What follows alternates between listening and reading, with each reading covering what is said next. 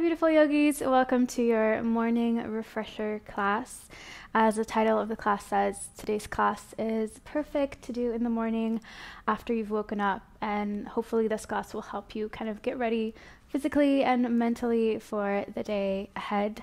Um, and this class, of course, is open to all levels, especially beginners. It'll be a very gentle yet energizing flow. So we'll get started. You can come to lay down onto your back. For now, just fully extend the body, bring the arms overhead, and maybe give your body a nice big stretch. Take a nice deep breath in. And on the exhale, draw the knees in towards your chest, hug them in with both arms, give them a good squeeze in until you feel a nice release in your hips, maybe even in your low back. Two more deep breaths here. See if you can allow the backs of the shoulders here to relax down towards the floor. And then from here, step your feet down onto the floor. Knees are pointing up towards the sky. You have both legs together, so the feet are touching. From here, walk your hips a little bit over towards the left side so that you come onto the outside edge of the right hip. Allow your knees to fall to the right. Either extend the arms out sideways if you have the space. If you don't have the space, just bring your arms up at a 90 degree angle. And then from here, take a moment here to make sure that your left shoulder is connected to the floor. If it's not, you can walk your shoulders a little bit over towards the right side to bring that left shoulder down. And as long as it feels good for the top uh, of your back here and your neck, you can look over the left shoulder. Gently close your eyes. And once you're in the pose, allow the whole body to relax. So if the legs want to part, allow them to do so. We'll take four more deep breaths. Bring the awareness towards the muscles that are running alongside your spine. And see if you can allow those to relax.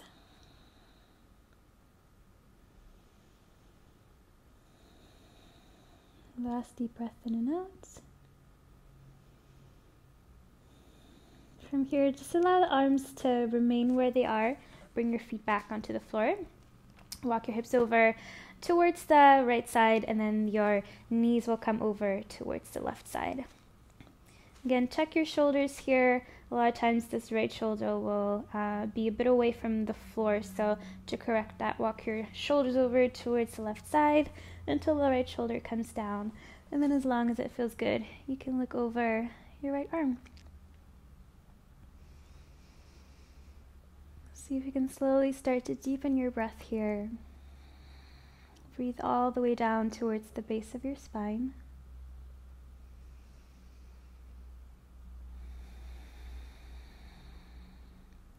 Two more deep breaths.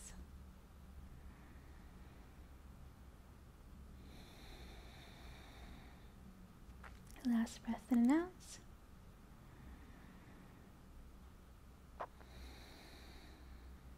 And then from here, come back to the middle.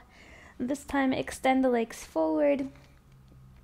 Take hold of opposite elbows and then press the arms down towards the floor so that you create a nice opening here in the armpits and the chest. From here, across your right foot over the left one. You're going to walk both feet over towards the left corner of your mat. Keep your hips where they are. And then again, while keeping the hips where they are, walk your shoulders over towards the left side as well. So you're making a curve with the body, wiggling yourself into a banana body. You can walk the shoulders as far as you want to until you feel a comfortable stretch on the right side of your body. And then see if you can press your right hip down into the floor. It will have a tendency to want to peel away from your mat. So press it down. And then we'll also activate the legs. So press through the balls of both feet forward until you feel your legs activating. This should help intensify the stretch on the right side of your whole body.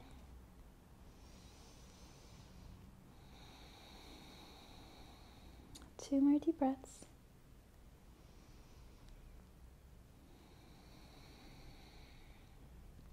Last one. And then wiggle yourself back to the middle. Uncross your legs. This time bring the left foot over the right one.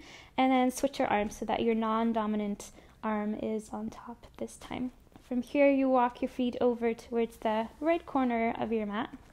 Again, hips stay stable where they are. Walk your shoulders over towards the right side as well. And just wiggle them over. Again, until you feel a good stretch here. So, depending on your flexibility, you go as far or you keep as close to the midline. From here, press your left hip down into the floor. Again, activate your legs by pressing through the balls of the feet forward. Perfect. Make sure you're relaxing the shoulders here. You could imagine your shoulder blades melting down into your mat.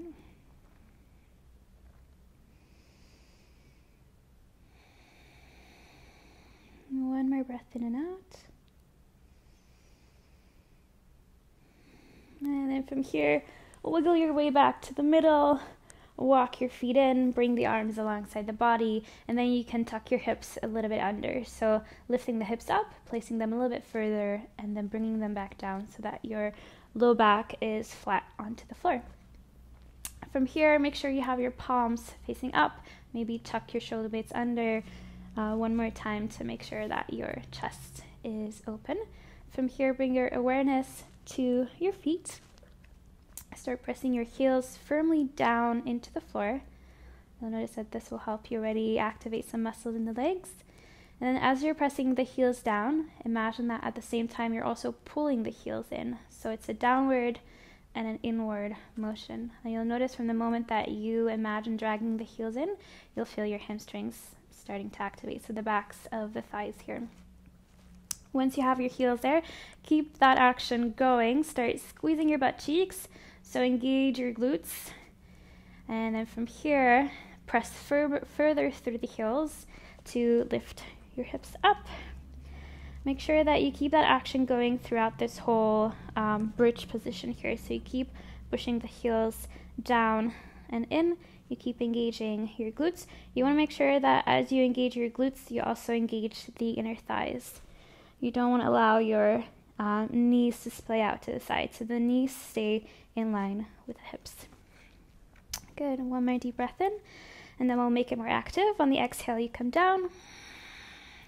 Inhale, lift up again. Make sure you're engaging the muscles of the legs here.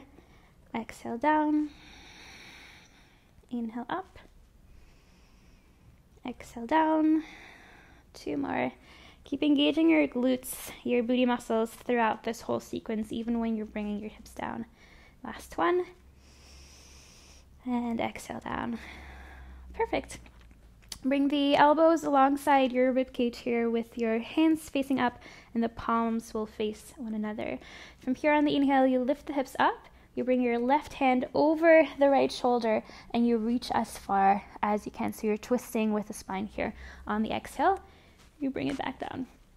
Inhale, reach your right arm over the left shoulder, reach as far as you can. Exhale down. Inhale, reach over towards the right side. Exhale down. Inhale over the left shoulder.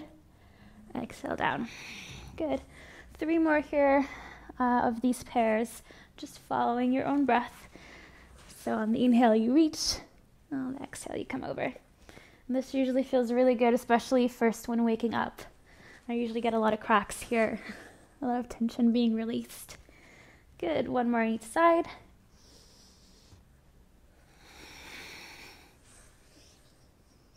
And exhale, come back to the middle. Bring your knees into your chest, firmly hug them in.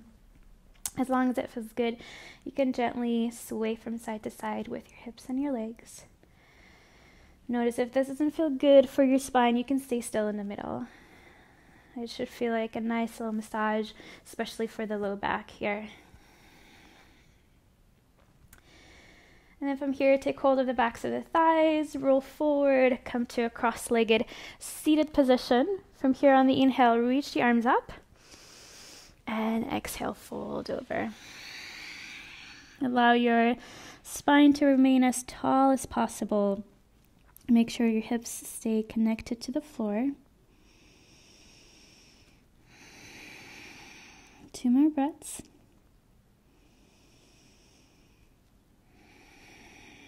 Last breath. On the inhale, walk the hands about halfway towards your body. See if you can roll over the knees and come to a tabletop position. So, in your tabletop position, you have your wrists right underneath your shoulders, knees right underneath your hips. From here, we'll do a few rounds of cat and cow to awaken the spine just a little bit more. So, on the inhale, you hollow the back. In other words, you'll start opening the front side of the upper body. So, you press your hips up. It feels as if your tailbone is kind of pointing up towards the sky. You allow the belly to drop down. You glide your shoulder blades down the spine and you look up towards the ceiling. On the exhale, you round the back. So you pull everything up and away from the floor. Bring your chin into your chest. Inhale, hollow the spine, and see if you can allow the movement to start in the low back and end in your head. Exhale round. One more round. Inhale, hollow. And exhale, round. On your inhale, come back to neutral. Bring your awareness to your belly button you're going to pull your belly button in towards your spine and then see if you can gently lift it up towards your heart. So it's an inward and an upward motion. Keep your core engaged there. This is called Uddiyana Bandha, by the way. From this core engagement, on the next inhale, bring your right leg straight behind you and make sure that your hips stay nicely in line.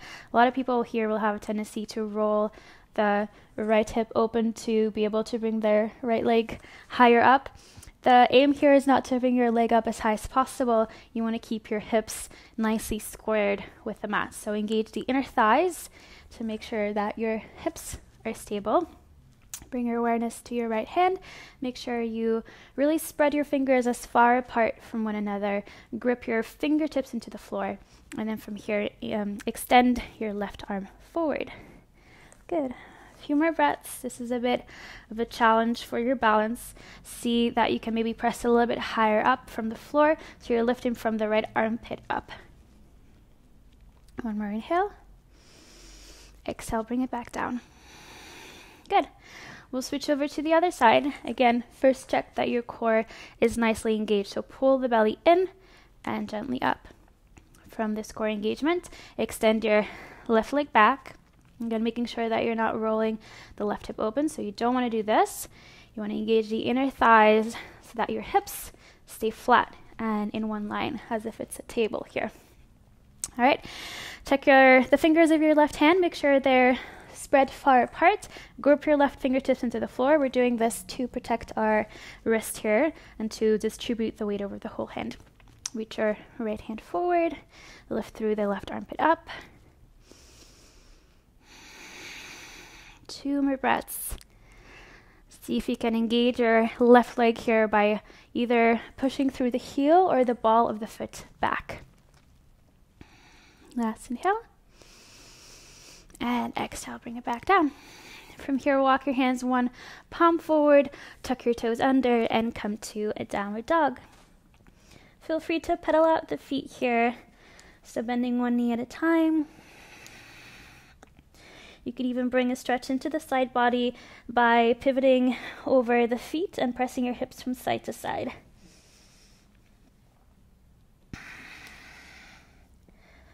Good. Gently come to stillness in your downward dog. Take a look forward to your hands. Make sure your hands are shoulder width apart. Again, a lot of space in between the fingers here. Grip your fingertips into the floor. From here, allow your head to hang heavy. No tension in the neck. Press the upper arms together towards one another. Spread your shoulder blades, so broaden your shoulders, in other words, and then press your chest back towards the knees. Feel free to keep your knees bent if that makes it a little bit gentler on the hamstrings here, the backs of the legs. Good. We're going to hold it for four more breaths.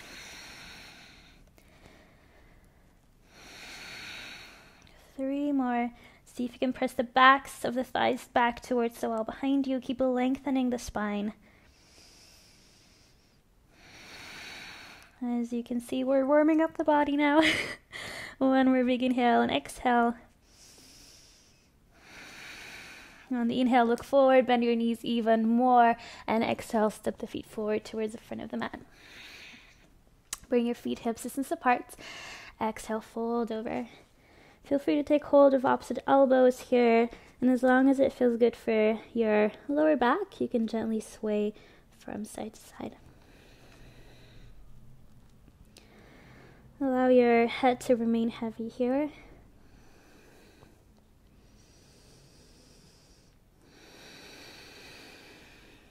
Two more breaths. Last breath cycle.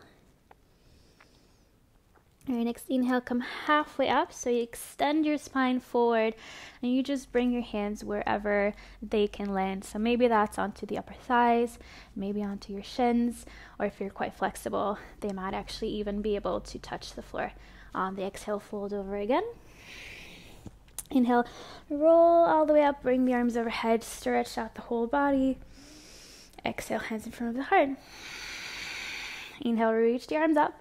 We'll go through a few Surya Namaskara A's. Exhale, fold. In other words, sun salutation A. Inhale, halfway lift. Exhale, come to a plank position. So step both feet back. Make sure your wrists are right underneath your shoulders. Engage your core. Press their heels back without moving the shoulders back. So you don't want to do this. You want to keep your shoulders uh, on top of your wrists, but you want to press the heels back without actually moving the rest of the body. Take one more deep breath in. Exhale, shift the weight forward. Bring your knees down first. Place your chest in between your hands and your chin rests onto the floor as well. Knees, chest, and chin. Press the elbows in towards the body. All right, next inhale, lift your chest through the hands, hips come down, untuck the toes. Inhale, baby cobra. So just lift your chest. Exhale, downward dog two breaths in your downward dog here. Again, feel free to keep your knees bent if that feels better, but see if you can start working towards bringing the heels down towards the floor and extending the legs. One more breath in and out. On your inhale, look forward, bend your knees. Take either little steps or maybe two big steps towards the front of the mat. Feet still, hips distance. Inhale, come halfway. Exhale, fold. Inhale, roll all the way up. Bring the arms overhead. And exhale, hands in front of the heart. One more round. Inhale, reach the arms up. Exhale, fold over with a flat back. Inhale, halfway lift. Exhale, plank position. Good. Two breaths here. Feel free to have your plank on your knees if that feels better for your low back here. Make sure your core is nicely engaged. Make sure you have a lot of space in between the fingers. Grip your fingertips into the floor. Exhale, shift the weight forward. Come to your knees, chest, and chin. So the chest comes right in between the hands. Your hips are facing up towards the ceiling. Inhale, baby cobra. Exhale, downward dog. Good. Again, two breaths in your downward dog. Feel free to move if that feels better to you, or you could just stay still. Make sure to spread your shoulder blades and press the upper arms together. Inhale, look forward, bend the knees, walk, step, or hop towards the front of the mat. This time, either feet hip distance apart, or if you feel like your legs are ready for it, you can bring the feet together Big toes touching, heels slightly apart, and then bend over. Inhale, halfway lift. Exhale, fold. Inhale, roll all the way up. Reach the arms up. Press through the feet down. Exhale, hands in front of the heart. Beautiful. Inhale, reach the arms up. Exhale, fold. Inhale, halfway lift. This time on the exhale, step only the right foot back. Bring your right knee down to the floor. Make sure your left uh, ankle is underneath your left knee, so they're in line. Inhale, reach the arms up. Make sure to properly engage the core here. So again, belly goes in and up from that core engagement. Stay your hips down towards the floor so that you feel a good release here at the front of the right thigh. Arms reaching up. Make sure you keep your shoulders relaxed.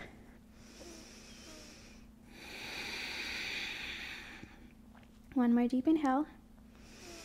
Exhale, bring the hands down. Step your left foot back, come towards a plank. Take one deep breath in.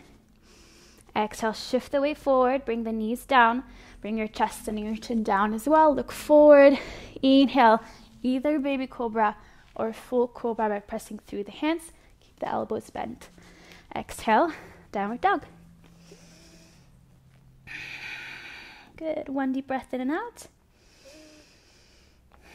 From here, look forward, bend the knees, step your right foot forward, bring the left knee down. Again, make sure that your right ankle is underneath the knee. Inhale, reach the arms up. Core stays engaged as you press your hips forward and down. See if you can lengthen even more through the spine. Last inhale. Exhale, bring the hands down. Lift your left knee off of the floor and step the left foot forward. Again, either feet hip distance or big toes touching. Inhale, halfway lift. Exhale, fold. Inhale, roll all the way up, bring the arms up. Exhale, hands in front of the heart. Inhale, reach the arms up. On the exhale, bend your knees, sit your hips back, come to Utkatasana chair pose. So imagine you have a chair behind you and you're trying to sit your bum onto the chair. So your weight is pulling back most of the weight is into the heels. Core stays engaged. Two more breaths.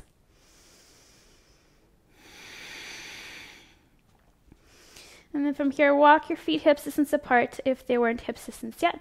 And then as slow as you can, come all the way down to the floor. Make sure you're nicely engaging your booty muscles here. Come as low as you can. If you can't go any further, Place the hands behind you, sit your hips down, walk them towards the middle of the mat. Legs are together. Take hold of the back sides of the thighs. Inhale, extend your spine. So lengthen your spine up. Reach your shoulder blades back. From here on the exhale, start leaning back until you feel your toes becoming weightless. And then lift the lower legs until they're about parallel to the floor. We're in Navasana right now. You have the option to stay in this modification, holding onto the thighs. This is option one. Option two, reach the arms forward so that the arms are in line with the legs here. Make sure you keep that length in the spine. Start engaging your legs in towards one another. From here, bring the hands behind you, cross the right leg over the left one until they're fully crossed. Let me show that from this side in case you didn't see that. Right leg over the left one, left foot comes to the right hip, right foot comes over to the left side. So left leg is bent under, right leg is over. All right, from here, make sure that you can sit upright. If you can't sit upright, come to sit either onto a cushion or you can fold your mat over a few times so that you sit a little bit higher. Right hand comes behind you. Inhale, reach the left arm up. Take a deep breath in, lengthen the spine. Exhale, wrap the left arm around the right knee. Press the right knee in towards your chest. Press your right hip down and then twist open towards the right side with your spine. You should feel a nice release here on the outside of the right hip, but also throughout the spine since we're twisting. One more breath in and out. Inhale, come back through the middle. From here, come back to your Navasana, either option one or option two. Again, firmly press your legs in towards one another.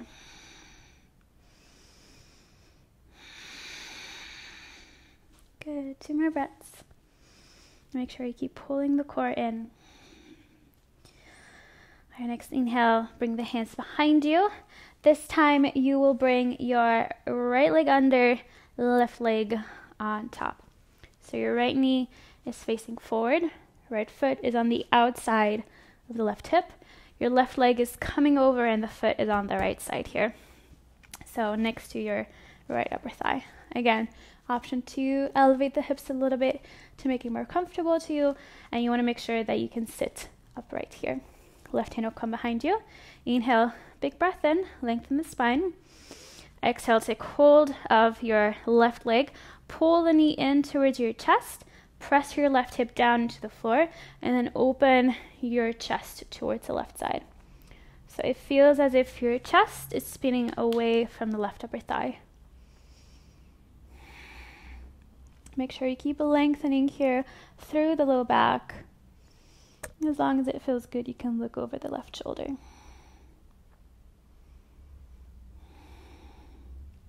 One more breath in and out. Inhale, come back to the middle. Last one here. Extend your legs forward. Legs are together. If you want to, uh, you can take hold of the flesh of the hips, bring it out to the side until you feel your sits bones in direct contact with the floor. Again, another option is to come to sit onto a block, a pillow, or just roll the back of the mat under so that you're a little bit higher and you can sit up straight. All right. Inhale, reach your arms up. Take a deep breath in. Lengthen your spine. From that elongation in the spine on the exhale, fold over. See if you can keep especially the lower part of your spine tall. And it doesn't matter if you can't reach your toes, just grab onto whatever you can hold onto. Maybe it's the floor, maybe it's your thighs, your shins, ankles, toes. You just want to work here on um, bending forward or folding forward from the hips, not so much from the spine. Bring your awareness to your hamstrings, so the backs of the thighs here. Notice if you can feel any spots in the hamstrings that feel extra tense. And then bring your awareness to those spots See if you can allow them to relax and to release. Make sure you keep breathing deeply here. The breath will assist you to be able to go deeper.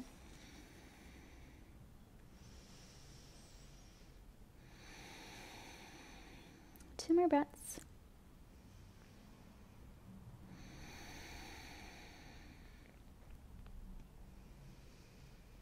And on your next inhale, come back up. Perfect. You have made it through the class. Feel free to maybe go to Shavasana, so laying all the way down to the floor for a few minutes, or you could do some meditation if that is part of your practice. If not, I hope you enjoyed this practice and I hope you have an amazing day. I will see you guys in the next one. Bye.